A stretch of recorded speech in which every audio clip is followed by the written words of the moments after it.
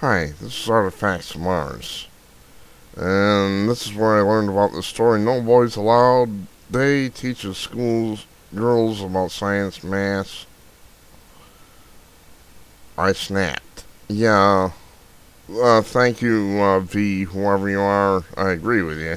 uh, I can understand why you would snap. This is infuriating. I just wanted to show this so you uh, know where I got this from. Appreciate that person on YouTube. Um, no Boys Allowed Day teaches girls about science math.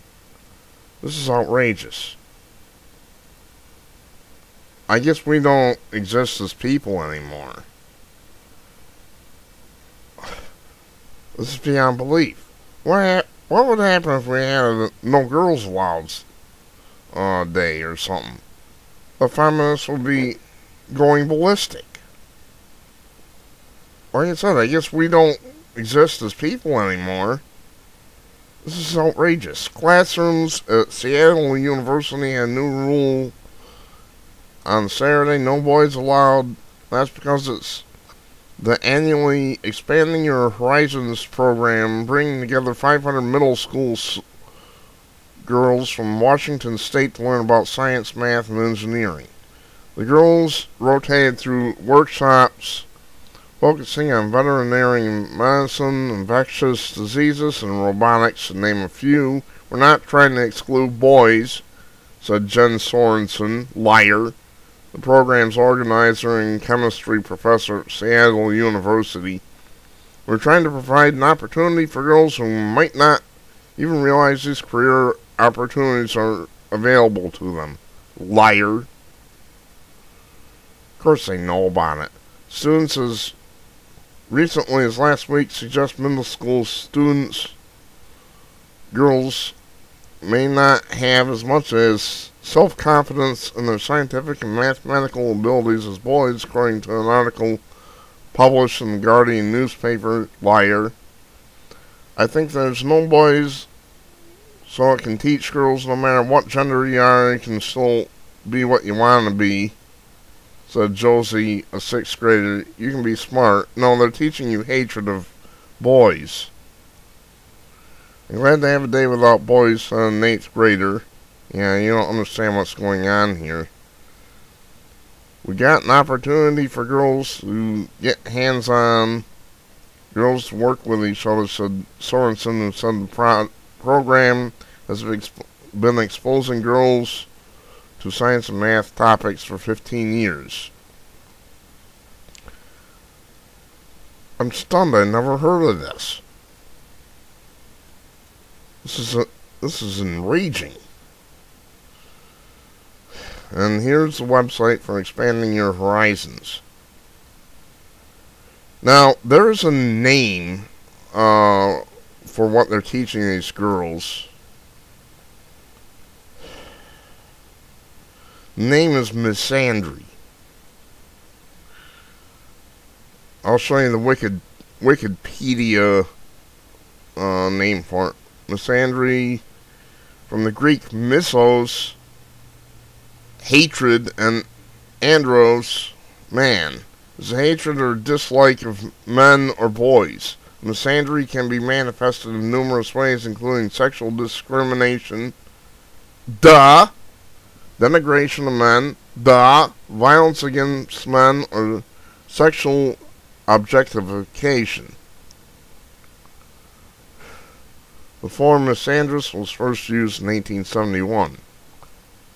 Misandry can take the form of marginalization of men in which they perform the most dangerous occupations are regarded as being disposable. Duh. Men having lower life expectancy and higher suicides rates than women. I yeah, I wonder why. It has been described as damaging to both men and women, preventing mutual respect between the sexes. Yeah, I would say so. Though the word is relatively modern, commentators have argued that implicit and even explicit misandry can be found in literature from the ancient Greeks, to Shakespeare, and modern literature such as the vagina monologues and even comic book heroes. I was stunned. I couldn't believe. I couldn't believe what I was seeing. I still can't.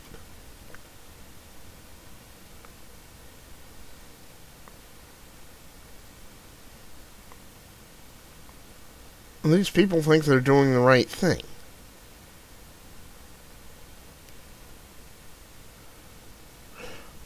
I can't believe this is happening. Uh, there's a movie, it was like a TV movie, uh, from the 70s or 80s or something. It's called, uh, Planet Earth. men were, this was set in the future where men were uh, kept drugged up and under control of the women, and they were called dinks.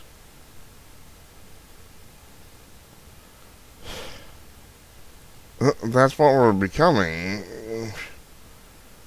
We're losing our place in the world, apparently. you men better wake the hell up. This is fascism, folks. This is disgusting and abhorred. I'm going I am so gonna rip these sons of bitches.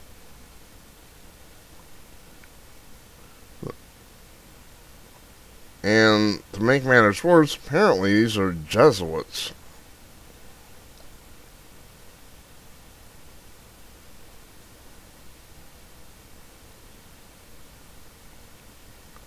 Yeah, Saint Ignatius Loyola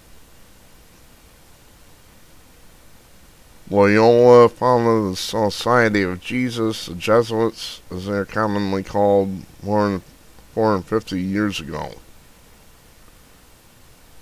Well, obviously, these people don't believe in Jesus, because Jesus would have never uh, approved of this. Well, here you go. I'm stunned. I don't know what else to say. This is misandry. This is gross discrimination. This is disgusting beyond.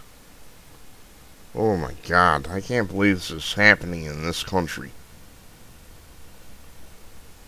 I have no words. Other than these people have got to be stopped.